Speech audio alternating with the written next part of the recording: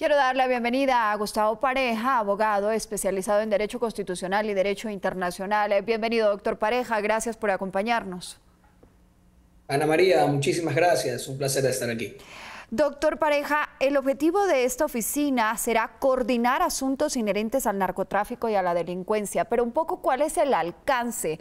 ¿Pueden sugerir, pueden ayudar o van a aportar con inteligencia, recursos y armar sobre todo una eh, estructura o un plan, diseñar en conjunto un plan que pueda llevar a buen término y que pueda ser a un mediano y largo plazo sostenible?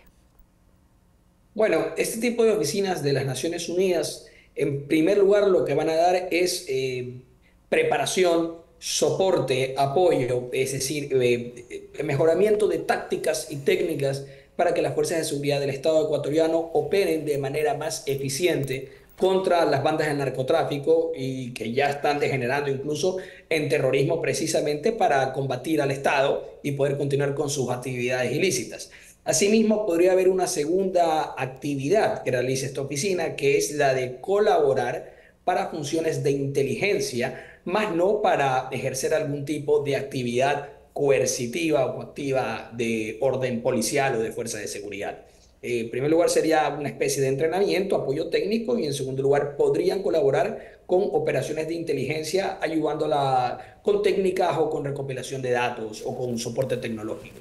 Señor Pareja, ¿qué opina el, legislativo que un poco siempre ha sido quien ha frenado este tipo de iniciativas, alegando desde la salida de la base de Manta, alegando un poco la soberanía nacional? Bueno, eh, en este caso sería diferente porque con el tema de la base de Manta era que en el Ecuador operen tropas de los Estados Unidos, ¿no?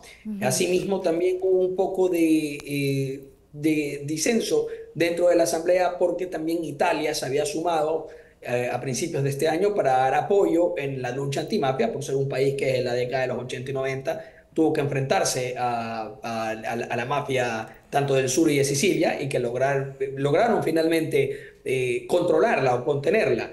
Pero en este caso, siendo la ONU un organismo multinacional del cual Ecuador es miembro y que realmente no pusiera aquí fuerzas militares eh, o, algún tipo de, de operadores de seguridad, no creo yo que fuera eh, algo notorio la oposición por parte de ciertas bancadas del legislativo ecuatoriano.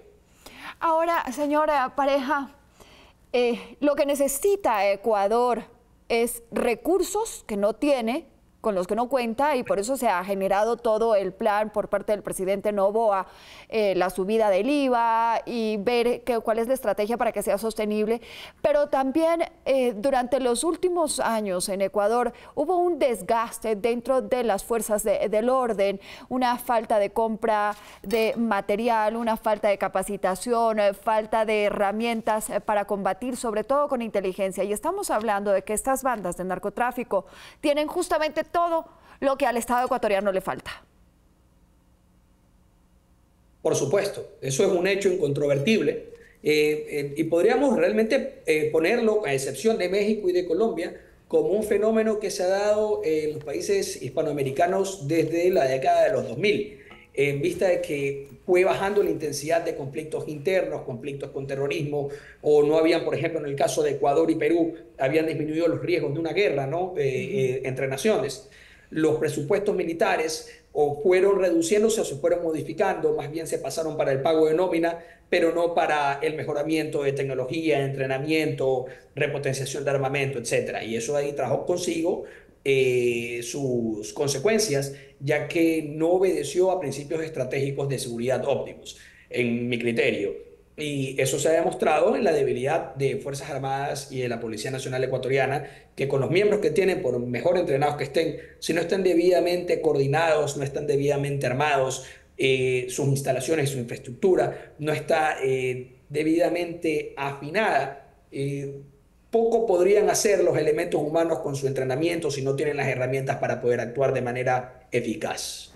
Ahora, señor Pareja, ¿ha funcionado el estado de excepción? Bueno, la otra opción era que no lo tuviéramos, que no se hubiera dictado. Aparentemente, a primeras luces, hacemos un cálculo, fue mejor a no tenerlo. Eh, esa restricción de movimiento permitió moverse al menos durante el primer mes y medio mejor a las fuerzas de seguridad, especialmente al ejército, y hacer un control de, digamos, de lo que es la vialidad, del transporte, la logística.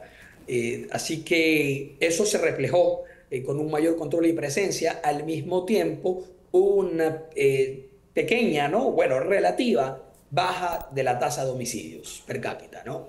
Pero eso es solamente el inicio de las actividades, porque ahora ya tienen que darse más operaciones de inteligencia, más profundo para dar golpes directos contra la estructura económica, militar y, eh, digamos, organizativa de los grupos criminales organizados. Ahora, con la oficina que entra a operar en eh, Quito, en Ecuador, ¿cómo puede esto contribuir? Porque quizás una de las grandes deficiencias que tenemos es que los países dentro de la región son muy distantes en su manejo en el tema del narcotráfico. Es decir, cada uno está manejándolo de una manera completamente diferente y justamente esa es una de las grandes virtudes para el narcotráfico, para aprovechar el que no haya una política regional. ¿Esta oficina cree usted que pueda en algo contribuir a generar una política regional más sólida? Bueno, es una probabilidad que puede darse. Eh, podría suceder y en su defecto lo que podría es precisamente evidenciar de manera flagrante esta falta de coordinación que no quiero yo ser eh, pecar de, desbocado, pero podría ser por cuestiones de conveniencia política, de orden institucional o por también cuestiones ideológicas. Eh, o una mezcla de todos los factores. Por supuesto. Entonces, en el supuesto consentido de que no pudieran eh, esta oficina de la ONU ordenar o ayudar a coordinar a los gobiernos de la región, al menos pusiera en evidencia que este tipo de fracturas se dan por unos intereses que no son los de las, de las respectivas naciones, sino los de grupos de interés al interior del aparato de poder de cada Estado. Sí, no, por, supuesto, y eso es una de las grandes afectaciones. Estas mafias de narcotráfico sí operan regionalmente y se coordinan regionalmente, lo que no hacen los estados, ¿no?